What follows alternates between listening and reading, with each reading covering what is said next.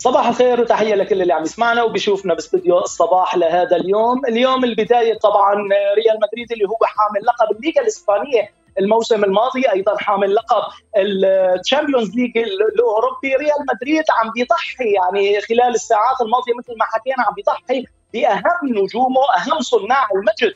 بالسنوات العشرة الماضية عم يضحي بلاعب الوسط المدافع البرازيلي كارلوس هنريكي المعروف باسم كاسيميرو اللاعب البرازيلي الشهير البالغ من العمر 30 عام اللي انتقل خلال الساعات الماضية لصفوف المان يونايتد الفريق الإنجليزي العقيق العريق مقابل طبعا 70 مليون يورو. العقد راح يكون لمدة خمس سنوات قادمة. كاسيميرو يعني أكيد عشاق ريال مدريد بيعرفوا إنه كاسيميرو كان واحد من أهم اللاعبين اللي حصلوا على البطولات مع ريال مدريد خلال السنوات الماضية خلال السنوات اللي قضاها مع الفريق الملكي.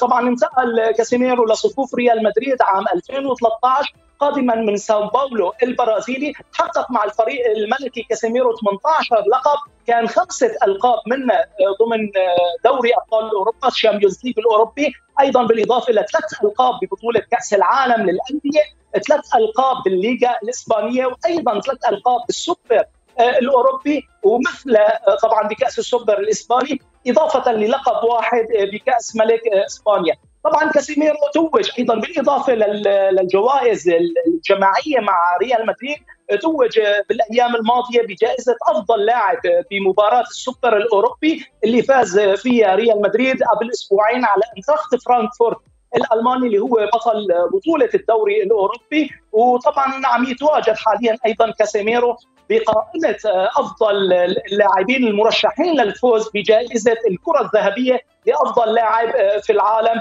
لعام 2022 طبعا للمعلومة أصبح كاسيميرو اللاعب البرازيلي الشهير هو ثالث أعلى صفقة صفقة بيع بريال مدريد عبر التاريخ عبر تاريخ هذا النادي.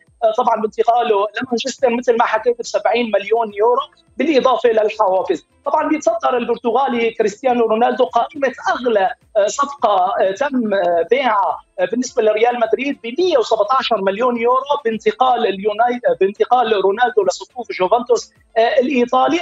الصفقة الثانية هي للأرجنتيني أنخيل دي ماريا اللي انتقل من صفوف ريال مدريد لصفوف أيضا. مانشستر يونايتد عام 2014 مقابل 75 مليون يورو. وكاسيميرو راح يكون بالمركز الثالث بتاريخ النادي. صفقات البيع بالنسبة للنادي الملكي ب 70 مليون يورو. وطبعا مثل ما حكيت راح يكون انتقاله لصفوف المان يونايتد أحد أعرق الأندية في اوروبا وبانجلترا طبعا حاليا أصبح بصفوف المان يونايتد ثلاث لاعبين هن من النادي الملكي أكيد بيتصدروا بيتقدموا النجم الهداف كريستيانو رونالدو البرتغالي بالإضافة للمدافع الفرنسي رافائيل فاران اللي كان أيضا بصفوف ريال مدريد وحاليا انضم لهم اللاعب البرازيلي لاعب الوسط المدافع كاسيميرو. بالانتقال لاخبار الأندية أو بعض الأخبار المتعلقة باللاعبين. باريس سان جيرمان الفرنسي مهدد بصراحة من قبل الاتحاد الأوروبي لكرة القدم اليويفا للطرد من البطولات الأوروبية أيضا مع غريمه. ومواطنه مارسيليا طبعا هي العقوبات اللي ممكن تحصل على الناديين من قبل الاتحاد الأوروبي لكرة القدم. هذا الشيء بسبب الخسائر المالية اللي عم يتعرض لها الناديين بسبب عدم التزام الناديين الفرنسيين بسياسة اللاعب المالي النظيف بحسب تقرير صحفي فرنسي.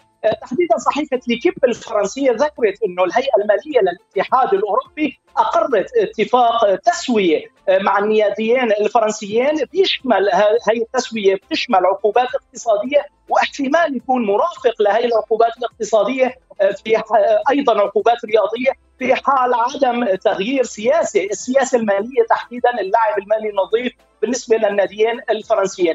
باريس سان جيرمان كان عم يتعرض لخسائر مالية تجاوزت 30 مليون يورو اللي هي مسموح فيها خلال السنوات الثلاثه الماضية مسموح من الاتحاد الأوروبي لكرة القدم إنه أي نادي محترف مشارك بالبطولات الأوروبية إنه يخسر 30 مليون يورو فقط من من ضمنها طبعا ممكن دفع رواتب اللاعبين. لكن باريس سان جيرمان وأيضا مارسيليا عم بيكون الخسارة أكبر من هيك وهذا طبعا بيعرضهم للعقوبات وهذا يعتبر لاعب مالي غير نظيف بالنسبة لقوانين الاتحاد الأوروبي لكرة القدم.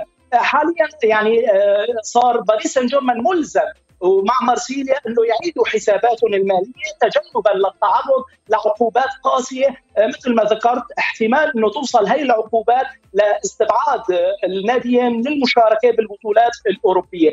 آه، بالنسبة للهيئه المالية للاتحاد الأوروبي ما اقتنعت بالملفات المرسلة من قبل الناديين وطبعا تم تغريمهم بالفترة الماضية. من أخبار الأندية والعقوبات اللي ممكن يتعرض لها تحديدا نادي باريس سان جيرمان اللي اليوم يعتبر بالنسبة لعشاق كرة القدم هو من أهم وأقوى أندية كرة القدم بأوروبا وعلى المستوى العالمي بنروح لأسبانيا. المهاجم البولندي الشهير روبرت ليفاندوفسكي اللي انتقل حديثا هذا الموسم لصفوف برشلونة الإسباني عم يتعرض هذا المهاجم لحالة سرقة تم سرقة ساعة يده الثمينة. هذا الشيء كان عند وصوله بسيارته الخاصة لمركز جوان جالبا اللي هو طبعا الملعب التدريبي الخاص بالنادي الكتالوني برشلونة. طبعا ليفاندوفسكي توقف عند الملعب أو بالقرب من ملعب التدريب. مع بعض الجماهير الكتالونية. بدأ بالسلام والتحية على هي الجماهير الكتالونية أيضا. بدأ بتوقيع بعض الأوتوغرافات لهي الجماهير بحسب الشرطة أنه أحد الشباب تقدم من سيارة ليفاندوفسكي وقام بنزع الساعة الخاصة الساعة الثمينة من يد المهاجم البولندي الشهير. طبعا الشرطة الكتالونية بحسب ما صرحت أنه هي ألقت القبض على الشاب البالغ من العمر 19 عام بعد أقل من ساعة على هذا الحادث وكان الشاب يختبئ بأحد الأحراش القريبة من ملعب النادي الكتالوني، أيضا الشرطة الكتالونية أوضحت أنه تم توجيه تهمة السرقة بالعنف للسارق. حتى لو ما لو إنه ليفاندوفسكي ما تعرض لأي مضايقات فقط سرقت منه الساعة لكن الشرطة الكتالونية أو القوانين الكتالونية بتعتبر إنه انتزاع الساعة من يد اللاعب البولندي يعتبر شيء له علاقة بالعنف أو هو بيعتبر أحد أنواع العنف بحسب الشرطة الكتالونية. طبعا بعض المصادر أكيد كل يمكن اللي عم يسمعنا وبيشاهدنا يمكن بحب يعرف ثمن هي الساعة الثمينة بالنسبة لليفاندوفسكي بعض المصادر الصحفية الأوروبية منها قناة ديلي دبليو الألمانية تحدثت إنه ثمن الساعة يقدر ب ألف يورو. أكيد يعني سعر يعتبر خيالي بالنسبة لساعة يد ليفاندوفسكي طبعا مشجعي وأشراق برشلونة بيعتبروا إنه ليفاندوفسكي هو أحد أهم وأقوى الصفقات اللي حقق الفريق الكتالوني هذا الموسم. طبعا ليفاندوفسكي مثل ما بنعرف انضم لبرشلونة مع فترة الانتقالات الصيفية الحالية قادم من بايرن ميونخ الألماني مقابل 75 مليون أو 45 مليون يورو. أكيد الجماهير الكتالونية كثير بتعول على هذا اللاعب تحديدا بأنه يحقق الأهداف بالليغا الإسبانية وأيضا يسعى أنه يساعد برشلونة أنه يعود لمنصات التتويج إن كان بالليغا الإسبانية أو حتى البطولة الأوروبية الأهم بطولة دوري أبطال أوروبا.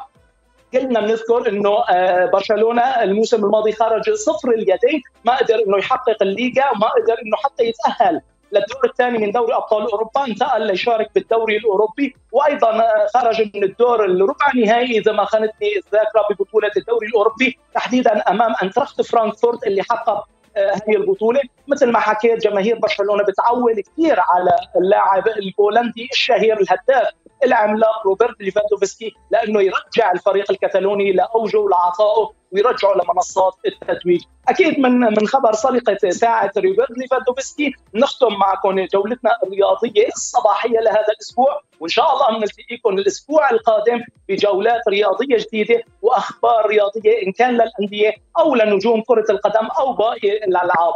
تحياتي لكل اللي عم يسمعنا ويشوفنا باستديو الصباح لهذا اليوم. تحياتي لكل مشاهدي ومتابعي اورينت إلى اللقاء.